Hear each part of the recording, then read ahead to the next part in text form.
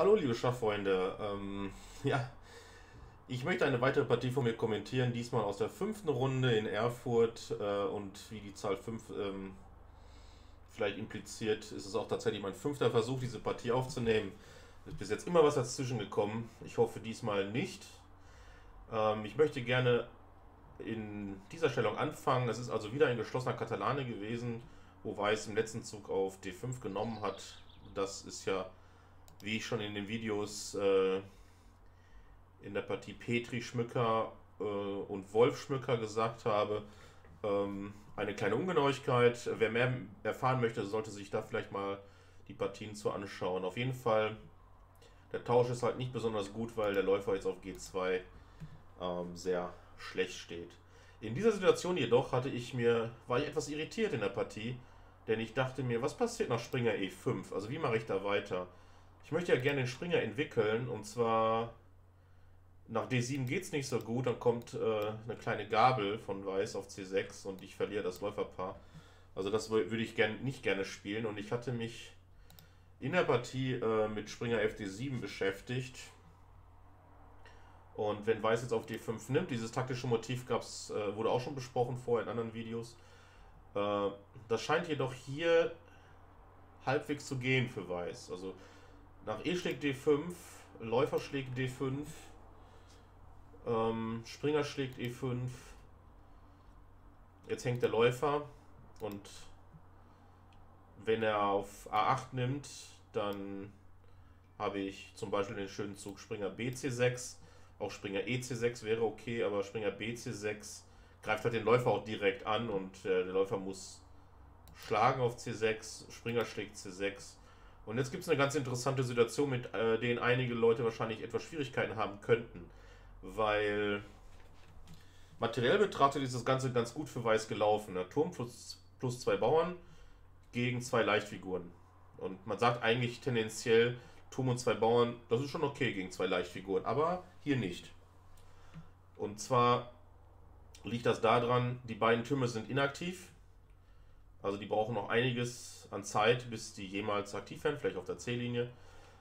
Und äh, der, weiße Läuf, äh, der weiße König hat seinen Schutzläufer verloren auf G2. Das heißt, der König ist dauerhaft geschwächt und Schwarz hat hier mit zwei äh, Mehrfiguren, ähm, also zwei Leichtfiguren für den Turm und die zwei Bauern ähm, tatsächlich die Oberhand. Also abgesehen davon hängt jetzt D4, das kann äh, Weiß natürlich decken mit wahrscheinlich Läufer B2. Aber äh, ja, seine Figuren stehen passiv und der König ist geschwächt. Dementsprechend sind hier die beiden Leichtfiguren mehr wert als Turm und plus zwei Bauern. Ja, also interessant, aber die Taktik, die wir vorher schon mal gesehen haben, war, wenn Weiß hier nicht auf A8 nimmt, sondern D schlägt E5. Das geht nämlich gar nicht für Weiß. Da folgt die Lösung, Läufer schlägt E2. Und ja, die Dame ist jetzt in einer dummen Situation. Sie muss den Läufer decken Gleichzeitig ist sie angegriffen und wenn sie zieht, um den Läufer weiterhin zu decken, zum Beispiel damit D2, kann Schwarz einfach auf F1 sich weiter bedienen und am Ende hat er immer einen Bauern mehr in der Regel. Ja, aber man kann die Variante mit Weiß verbessern und zwar an dieser Stelle, also nicht, dass er darf nicht sofort auf D5 nehmen, sondern er kann ganz geschickt Springer schlägt F7 ziehen. Und das ist ein Computervorschlag, den habe ich in der Partie, glaube ich, auch nicht wirklich berechnet. Aber wie gesagt, ich war schon eh so ein bisschen nicht ganz sicher, wie ich diese Variante einzuschätzen habe. Aber das ist jetzt wirklich interessant, weil nach Turm schlägt F7, Läufer schlägt D5, muss ich den Turm auf A8 wieder retten, indem ich eine Figur ähm, über Bord werfe. Springer C6 nimmt Turm C8. Aber ich kann den zweiten Turm trotzdem nicht retten, weil Läufer D5, also ich kann ja nur einen Turm retten, aber Läufer D5 hängt dann wieder in der Luft und äh, diese Zugfolge ist einigermaßen forciert. Läufer schlägt F7, König schlägt F7. In diesem Fall hat Weiß sogar drei Bauern und Turm gegen zwei Leichtfiguren und trotzdem sieht der Rechner die schwarzen Chancen als leicht besser an, wenn man ihn ein bisschen rechnen lässt. Ähm, ja, das sollte darauf begründet sein, dass immer noch der weiße König langfristig geschwächt ist. Aber drei Bauern und Turm sind schon eine Menge Holz. Und ich für meinen Teil denke mir, die Stellung ist wahrscheinlich recht unklar. Also, aber wenn der Computer meint, das ist absolut in Ordnung für Schwarz, sogar tendenziell etwas besser für ihn, gut, kann man sich vielleicht mal im Hinterkopf behalten, wenn man die Variante nochmal spielt und vielleicht sich darauf einlassen. Aber es gibt auch eine sichere Lösung für Schwarz und die habe ich in der Partie nicht gesehen. Oder zumindest habe ich noch nicht drüber nachgedacht. Und zwar an der Stelle kann man ganz gut Dame E8 spielen. Und das bereitet einfach Springer C6 vor, ohne sich auf irgendeine taktische Verwicklung einzulassen. Und auch da steht Schwarz schon sehr angenehm. Also das kann man sich dann aussuchen, falls man diese Variante spielt, äh, so zu reagieren auf Springer E5 in der Sekunde. Also nach dem Tausch auf D5. Ja, aber das waren die Gedanken, die ich so hatte. Aber mein Gegner spielte dann gefühlt nach zwei Minuten einfach Läufer B2. Und damit war ich doch schon sehr zufrieden, weil Läufer B2 ist meiner Meinung nach ähm, ebenfalls kein besonders gelungener Zug. Der Läufer steht auf B2 auch schlecht. Genauso wie der Läufer auf G2. Also beide Läufer von Weiß sind jetzt nicht besonders äh, prickelnd. Gut. Springer C6, aktivstes Feld. Turm C1, Turm C8, A3. Und hier bot mir mein Gegner Remis an. Hm. Ja, ich verstehe das Remis-Angebot auch wieder nicht, weil ich habe über 200 Punkte mehr, das Brett ist noch voll. Und in, in welcher Welt soll ich hier das Remis annehmen? Also da muss es mir schon irgendwie schlecht am Brett gehen, dass ich dann, kein, dass ich dann das Remis annehme. Ähm, ich verstehe diese An Angebote eigentlich nie. Ich habe äh, abgelehnt und ja, spielte dann Springer A5. Es ist nicht so einfach. Also das ist ja klar, wie ich schon in anderen Partien gesagt habe, äh, Schwarz hat eigentlich die Oberhand am Darmflügel. Ähm, weil ich habe hier mehr Figuren oder sind aktiver aufgestellt. Also man sieht hier, die drei Figuren machen was am Darmflügel. Ähm, und oh, das male ich hier ein bisschen rum. Aber die Frage ist, wie man weiterkommen möchte. Und eigentlich muss man dann irgendwann versuchen, die Bauern nach vorne zu schieben. Alles auf die richtige Art und Weise. Aber Springer A5 fand ich sehr lästig für Weiß, weil die Dame deckt B3 und die Dame möchte wahrscheinlich sehr gerne nach D2 gehen, was jetzt natürlich nicht mehr geht wegen der kleinen Gabel. Und die Frage ist halt, wie Weiß hier weiterkommen möchte. Wenn er B4 zieht, dann, dann kann ich das Feld C4 besetzen. Äh, was auch nicht sehr schön wäre für ihn. Ja gut, er spielte Springer D2, sehr schnell. Dame D7, jetzt habe ich meine Türme verbunden. Turm E1, Turm FD8. Ja, warum habe ich Turm FD8 gemacht? Ähm, eine Rechtfertigung oder wie man versuchen kann, den Läufer auf G2 zu rechtfertigen, wäre es äh, hier E4 durchzusetzen. Also, wenn ich nicht besonders äh, aufpasse, dann könnte es passieren, dass Weiß zu E4 kommt. Und normalerweise ist E4 ja nicht wirklich gut für ihn, weil es dann zu einem Isolani führt. Und das wäre hier ebenfalls der Fall. Deswegen, e, ich habe Turm FD8 gespielt, um nach D schlägt E4 den Zug D4, D5 wirklich komplett auszuschalten. Also ich, ich habe auch direkt Druck auf D4 und das nicht zu knapp. Und wenn er mit dem Springer nimmt, dann könnte ich hier wahrscheinlich schon alles Mögliche spielen. Also ich sehe keine Gründe, warum. Ähm, ja, wahrscheinlich kann ich auch einfach so einen Zug machen wie Springer D5 oder Turm schlägt C1. Also hier kann man wahrscheinlich alles Mögliche spielen. Und Fakt ist, dass Weiß steht zu inaktiv, als dass er genug Kompensation hätte für die Struktur. Ja, ähm, deswegen habe ich Turm FD8 gespielt, äh, E3 kam von Weiß und ja, hier war natürlich schon klar, was Weiß vorhat. Ähm, er möchte gerne tauschen, tauschen, tauschen und Remis machen. Ja, nach Turm C7, jetzt gibt es keinen Grund mehr, die Türme nicht zu verdoppeln auf der C-Linie. Läufer F1 und das war die Idee von Weiß, ähm, den sehr aktiven Läufer von mir abzutauschen gegen den sehr inaktiven Läufer von ihm. Aber strategisch betrachtet fällt es sich genau andersherum. Eigentlich ist sein Läufer auf F1 der bessere Läufer, strategisch betrachtet, wegen, weil mein Läufer hier die hellen Bauern auf den weißen Feldern, hellen Bauern, sind ja dunkle Bauern, aber ähm, stehen auf den ähm, hellen Feldern und deshalb ist der Läufer auf A6 äh, per Definition ein sogenannter schlechter Läufer. Allerdings hat er das Beste aus seiner Lage gemacht und er steht aktiv auf A6, während der Läufer von Weiß eigentlich der super, also der gute Läufer ist, weil seine Bauern auf Schwarz stehen, aber er macht nichts und deswegen tausche er ihn gerne ab, aber strategisch betrachtet ist das ein sehr guter Tausch für mich. Habe ich auch nichts gegen gehabt. Jetzt nimmt er mit dem König, was auch ein bisschen seltsam aussah. Ich hatte dann schon gedacht, oh, vielleicht kann ich mal irgendwann E5 spielen und mit Dame H3 äh, irgendwas machen. Also das hatte ich durchaus angedacht. Aber Turm DC8 ist erstmal der natürlichste Zug der Welt und es droht echt unangenehm für Weiß. Läufer schlägt A3. wonach der Springer nicht mehr genug gedeckt wäre, wenn der Läufer auf A3 zurückschlüge. Ja, und Weiß hat sich jetzt hier dazu entschlossen, in den sauren Apfel zu beißen und mir das Feld C4 zu geben. Er kann sicherlich auch passiv mit Springer D, B1 oder sowas decken. Schön ist das mit Sicherheit nicht und es gibt, äh, Schwarz steht auch klar besser danach. Okay, B4, Springer C4. Strategisch habe ich jetzt quasi ja, sehr schönen starken Vorteil und äh, die Ziele erreicht. Springer schlägt C4, Turm schlägt C4. Das Feld C4 ist besetzt, die C-Linie gehört quasi mir. Aber die Frage ist mal in solchen Fällen, wie geht es weiter? Und tatsächlich mache ich jetzt hier direkt äh, einen Fehler. Laut Computer ist es kein großer Fehler, aber ich denke, es ist ein großer Fehler aus, aus positioneller Sicht. Und äh, die Frage ist halt, wie man, wie man mit Schwarz hier weitermacht. Und klar ist, man sollte mit Schwarz auf dem Darmflügel spielen und da brauchst du Angriffsziele. Also ist A5 der logischste Zug, den es gibt. Und äh, mal abgesehen davon, dass B4 direkt hängt, ich weiß nicht, warum ich den nicht gemacht habe. Ich habe wahrscheinlich viel zu statisch gedacht mit, mit dem Zug, den ich gemacht habe. Also A5, entweder muss äh, Weiß danach die B-Linie öffnen, indem er auf A5 nimmt, oder er muss durchziehen. Und das sind in beiden Sachen, in beiden Fällen habe ich äh, auf jeden Fall schöne Ideen mit Schwarz, wie ich hier weiter angreifen kann. Und ähm, ja, klarer Vorteil für, äh, für Schwarz. Aber stattdessen spiele ich B5 und der Zug ist nicht wirklich gut. Ich wollte irgendwie, wahrscheinlich wollte ich das hier festlegen, aber er ist zu statisch und potenziell gibt er das Feld C5 aus der Hand. Und Weiß hat vielleicht jetzt auch mal so Ideen mit den Springer nach C5 zu bringen was wir gleich sehen werden in der Partie. Und ja, das war einfach nicht nötig. Ich habe das irgendwie zu statisch betrachtet. Aber so ist das. Man lernt ja aus seinen Partien. Der Turm ED1, den habe ich nicht ganz verstanden. Zug, der hat eigentlich keine direkte Idee. Läufer D8. Jetzt habe ich versucht, hier A5 vorzubereiten. Und schon kommt Springer B1. Und Weiß plant jetzt wirklich Springer D2, B3, C5.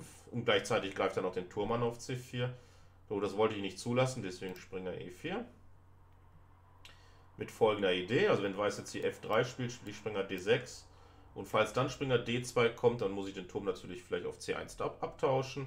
Aber dann kann ich meinen Springer nach C4 äh, stellen und damit wäre ich auch sehr zufrieden gewesen. Kommt dann stattdessen von ihm ein Springer nach C5, dann kann ich drumherum spielen oder zur Not irgendwann mal mit dem Läufer den Springer schlagen. Und ich habe dann einen guten Springer gegen einen schlechten Läufer in der Regel. Muss man gucken, wie, die, wie es dann halt läuft, aber ähm, ja, ich denke, Schwarz steht danach auf jeden Fall auch klar besser. Deswegen hat mein Gegner hier nicht F3 gezogen, sondern natürlich sofort Springer D2. Und der hat ja nichts gegen Tauschen, also tauschen wir ab. Springer schlägt D2, Dame schlägt D2.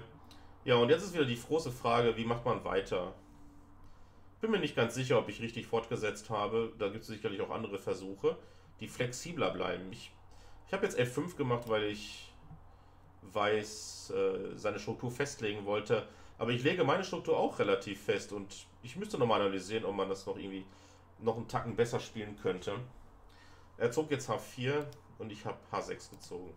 Ja, H6 war auch der Versuch, clever zu sein. Die Frage ist, ob es wirklich clever ist. Ähm, meine Idee war, mir potenziell G5 offen zu lassen. Eventuell kann ich da mal G5 halt machen, um zu versuchen, am, am Königsflügel was zu attackieren. Oder falls Weiß H5 spielt, dass ich dann sage, okay, der Bau auf H5 wäre dann ähm, ja nur noch von Figuren zu decken, vielleicht kann ich den unter Druck setzen. Also ich wollte auf jeden Fall, wie gesagt, das Stichwort ist flexibel und äh, es ruiniert ja auch erstmal nichts. Ne? Weiß spielte König G2. Gut, ich mache Läufer E7, versuche den Läufer zu verbessern. Und wir haben wieder eine Stellung hier, wie in den Partien schon zuvor mit den Schwarzpartien, die ich hatte, die ich allesamt gewonnen habe. Äh, Kleiner Vorteil, aber wieder so eine Art Vorteil, die wahrscheinlich bei bester Verteidigung ähm, nicht zu einem Sieg reicht. Trotzdem, wenn man so einen Vorteil hat, ist man verpflichtet weiterzuspielen und auch versucht auch da das Maximum rauszuholen. Aber der Gegner, vor allen Dingen wenn er ein sehr guter Verteidiger ist, der hat gute Chancen dann sich noch zu halten.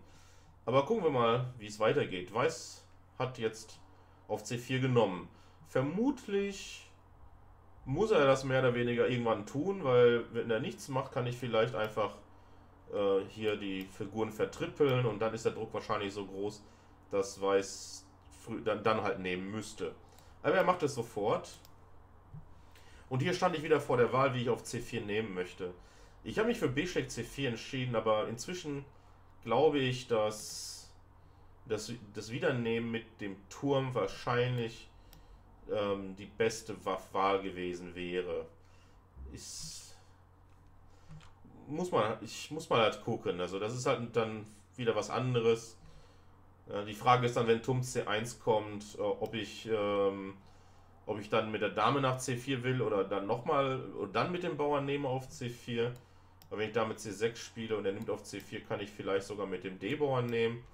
Das sehe auch interessant aus. Ja. Sehr, sehr interessante Situation. Ich habe sofort mit dem Bauern geschlagen. Äh, Fakt ist, Schwarz kann nur besser stehen. Aber die Frage ist halt wieder, äh, kann man das irgendwie, kann man da was Handfestes rausholen? Und wahrscheinlich kann man es nicht. Ja. Gut. Mein Gegner zog jetzt hier Läufer C3. Und ähm, wenn man das so strategisch betrachtet, ja, ist der Läufer von Weiß eine reine Katastrophe. Ja? Also alle seine Bauern stehen auf den dunklen Feldern. Äh, mein Läufer ist strategisch ganz klar vorzuziehen. Aber Weiß hat im Grunde genommen nur eine einzige Schwäche, die erreichbar ist. Und ja, einer der wenigen Hebeln, die mir hier noch ver verblieben sind, äh, ver verbleibt, ist der Bauer auf A5. Und ähm, ja, da ist nicht mehr viel, um da was äh, rauszuquetschen. Andere Hebel wie G5, also wie gesagt, die hängen noch immer in der Luft und Weiß muss drüber nachdenken, aber gut. Ich zog jetzt hier König F7 und über den Zug habe ich mich auch ein bisschen geärgert nach der Partie. Äh, oder nee, in der Partie schon, weil ich denke, genauer wäre jetzt hier gewesen Dame A4, um zum Beispiel die weiße Idee mit Dame C2 zu verhindern. Aber es ändert nichts an der Tatsache, dass die Stellung wahrscheinlich auch immer noch aber wie gesagt, es ist Vorteil, aber man kann den Weißen ärgern und die Frage ist, ob er das halten kann. König F7, Dame C2. Weiß nutzt die Chance, verhindert jetzt Dame A4 und kann vielleicht sogar selber mal irgendwann A4 spielen. Ich habe das jetzt versucht zu verhindern. Turm B8, Turm A1. Das ist auch ein Zug wieder, den ich nicht verstanden habe, weil der droht nicht A4 und also wieder einfach nur so ein Zug, der nichts verdirbt. Läufer D6, immerhin. Der Läufer steht auf D6 besser als auf E7. Und ich wollte jetzt hier halt so flexibel wie möglich bleiben. Turm B1. Jetzt könnte Weiß A4 drohen. Kann ich nicht verhindern. G6. Mit G6 wollte ich halt auch H5 aus der Stellung nehmen. Ähm, und wieder weiterhin flexibel bleiben. Vielleicht spiele ich mit König G, F6 und G5, je nachdem. Aber Weiß muss immer drüber nachdenken, ob ich das mache oder nicht mache. Okay, äh, er zog jetzt Dame D1. Ich hatte hier ernsthaft mit A4 gerechnet und dachte mir, was mache ich danach? Ja, ich hätte dann A6 gespielt und es ist wieder seltsam. Ja? Weiß hat jetzt, beide Bauern sind schwach, aber ich kann den Druck nicht so erhöhen, dass ich das irgendwie ausnutzen könnte. Also ich kann mich dreimal auf den Bauern auf B4 stellen, aber Weiß kann den noch locker dreimal decken. Ich kann aber nicht zweimal auf A4 angreifen, das kriege ich nicht hin. Und ähm, wenn Weiß nichts macht und einfach stehen bleibt, dann hält der Damenflügel wahrscheinlich, äh, hält einfach zusammen. Und deswegen, dementsprechend habe ich nur noch Ideen gehabt am Königsflügel. Hier hätte ich wirklich versucht, dir irgendwie G5 vorzubereiten. Oder wenn ich ganz verzweifelt gewesen wäre, hätte ich versucht, E5 vorzubereiten, je nachdem. Und dann mal schauen. Aber stattdessen spielte er Dame D1 und macht gar nichts. Er wollte wahrscheinlich einfach nur sehen, was ich mache. Ich spiele Turm B6 und dachte mir, okay, wenn du weiterhin nicht A4 spielst, dann mache ich folgendes, Dame C2, Turm A6. Und jetzt geht A4 nicht mehr. Und jetzt kann ich, kann ich Dame A4 vorbereiten. Turm A1, Dame A4. So, dachte ich mir, okay, ich komme nicht weiter, also biete ich mal Damentausch an, dann äh, versuche ich es am Darmflügel dann mit A5 im richtigen Moment. Gut, er spielte Dame C1. Äh, in dem Moment wollte er keinen Damentausch, aber nach Dame B3 war das dann doch soweit. Nehmen, nehmen.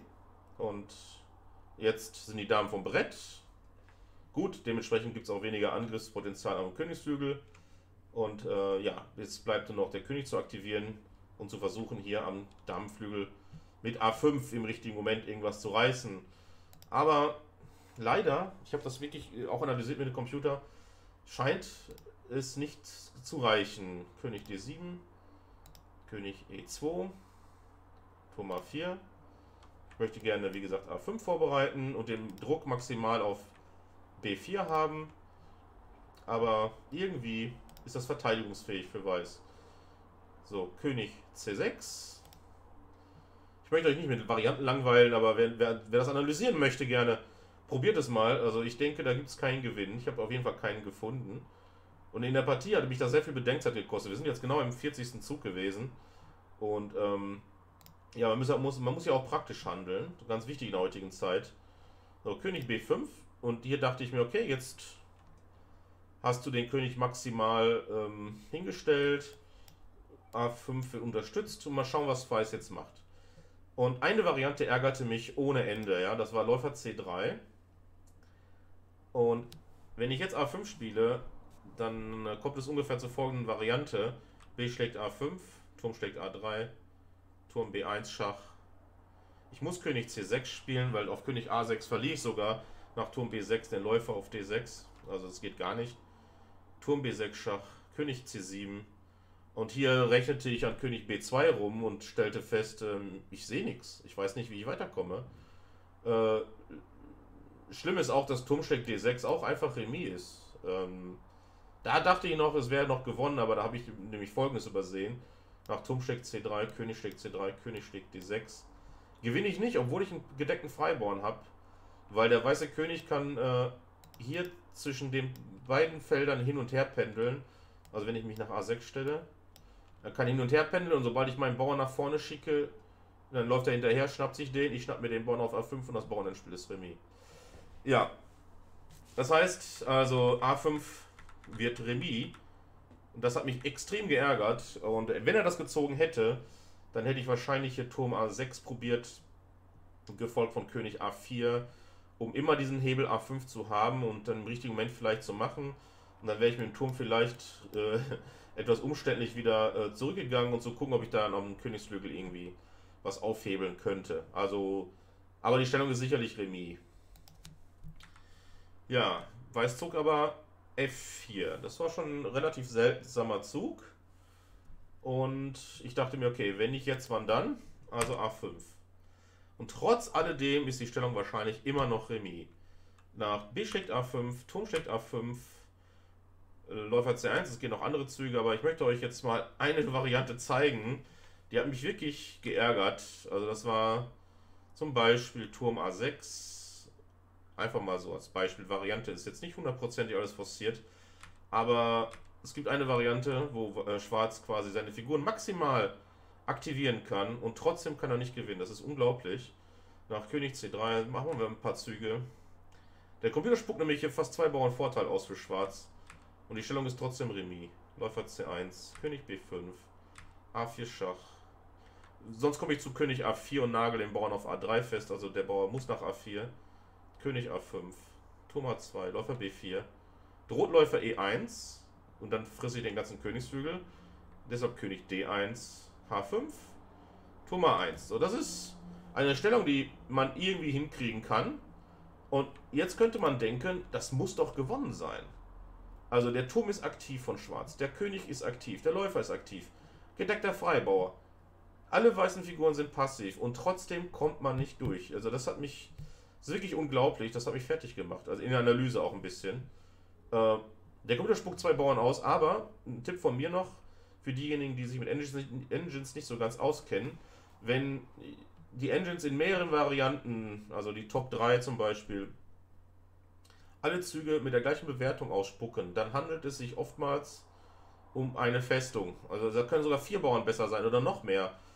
Der, der Computer hat ganz große Schwierigkeiten, äh, Festungen zu erkennen. Das ist nicht seine Stärke, weil mit dem 50 Züge Horizont, also irgendwann stößt er auf seine Grenzen. Er rechnet nur noch herum und erkennt aber nicht, dass die Stellung halt nicht zu gewinnen ist. Er sieht dann das, das Material oder so oder hier diese Aktivität von Schwarz, aber es reicht nicht. Man kommt nicht durch. Ja, wer einen Weg findet zum Gewinnen, kann sich gerne bei mir melden. Ich würde mich da, das würde mich schon sehr interessieren, aber ich glaube nicht dran. Okay. Sehr interessant. Aber das am Brett zu finden, ist halt auch dementsprechend schwierig.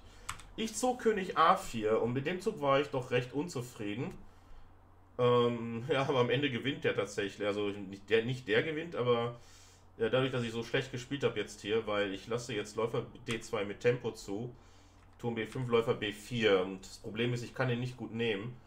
Mache ich das, dann kommt A schlägt B4 Schach. Ich muss nehmen, sonst kann ich, äh, bin ich matt. Und nach Turm A6 ist klar, dass hier ähm, ja, die Sache erledigt ist. Ja, also ich habe, tatsächlich ist es noch Ausgleich, aber hier muss ich ja wahrscheinlich eher aufpassen, dass ich nicht verliere. Und das kann es ja nicht sein. Also Läufer schlägt B4 geht nicht. Musste ich also Läufer C7 spielen und jetzt passierte folgendes. Das ist irgendwie ganz seltsam. Irgendwas passierte mit meinem Gegner. Ich glaube, er hat schon ein paar Züge vorher immer wieder darüber geliebäugelt. Ich habe seinen Blick gesehen, wie er immer zum Königsflügel gewandert ist. Und ich glaube, er dachte immer über H5 nach. Und ja, jetzt habe ich das wieder gesehen. Und ich dachte mir so, das willst du wirklich H5 spielen? Hm. Also im Grunde genommen, wenn Weiß hier stehen bleibt und nichts macht, dann hätte ich mit sehr hoher Wahrscheinlichkeit folgendes probiert. Ich hätte wahrscheinlich Läufer A5 probiert, ähm, Turm B8, König B5, damit ich endlich auf B4 drohen kann zu nehmen.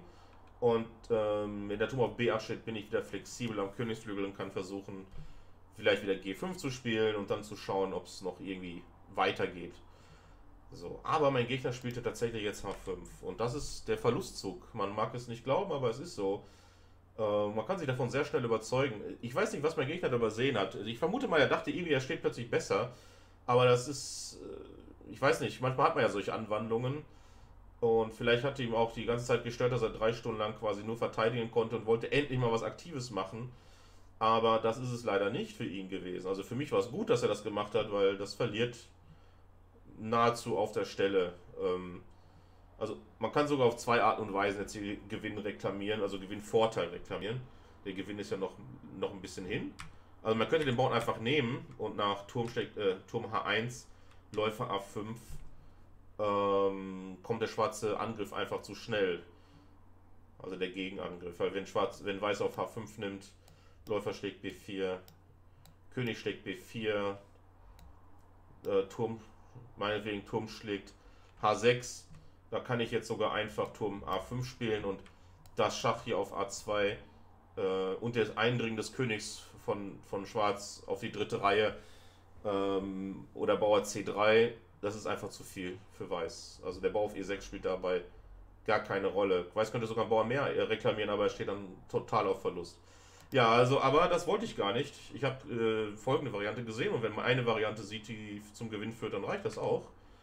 Ich zog Turm B8, H schlägt G6, Turm G8, Turm A1, Turm schlägt G6. Und jetzt glaube ich, also ich kann es mir, wie gesagt, nicht anders erklären. Vielleicht hat er diese Variante berechnet und dachte sich am Anfang, er könnte mit Läufer F8 ähm, oder nach Turm H3, jetzt, Entschuldigung, jetzt Läufer F8 drohen und dann Läufer schlägt H6 und er gewinnt einen Bauern. Äh, vielleicht sowas. Wobei auch da A3 hängen würde einfach. Also ich weiß es nicht, was er gedacht hat. Das Problem ist nur, selbst wenn der Läufer F8 am Zug hinkriegen würde, könnte ich H5 spielen und ähm, wenn er Turm auf H5 nimmt, nämlich auf G3 und dann hängt E3, also das ist auch einfach gewonnen für Schwarz. Also muss ein Vater Morgana gewesen sein. Ich zog jetzt den Läufer A5 ähm, und habe ihn quasi zu Läufer F8 gezwungen und mein Läufer kommt jetzt einfach nach E1 und wie gesagt, auch statt Läufer E1 geht auch H5.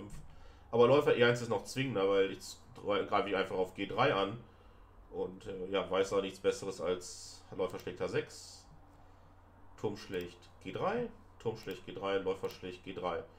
So, und das Endspiel ist easy gewonnen. Ja, ähm, jetzt habe ich freien Zugang zu den weißen Schwächen. Und mein Freibauer, der Gedeckte, spielt eine Rolle. Ja, also der Bauer auf E3 ist super schwach, der Bauer auf A3 ist super schwach. Er hängt sogar direkt. Und Weiß kann ihn nur mit Läufer F8 decken. Läufer F2, ich greife direkt die zweite Schwäche an und ähm, mein König kommt rein. Und das ist entscheidend. König D2, König B3 und ja, ich drohe jetzt sofortiges C3. Ähm, Weiß kann es gerade noch so eben verhindern, aber halt nur gefühlt einen Zug lang. Nach Läufer H4 ist Weiß quasi im Zugzwang, weil ähm, ja, wenn der Läufer äh, von dem Feld C3 wegzieht, habe ich C3 Schach.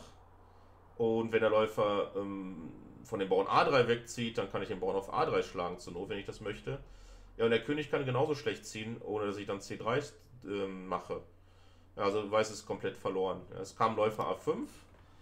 Äh, ich habe jetzt noch nicht einmal sofort auf A3 genommen, obwohl das auch gewinnt, weil ich wollte einfach König C2 nicht zulassen. Also habe ich Läufer E7 gespielt.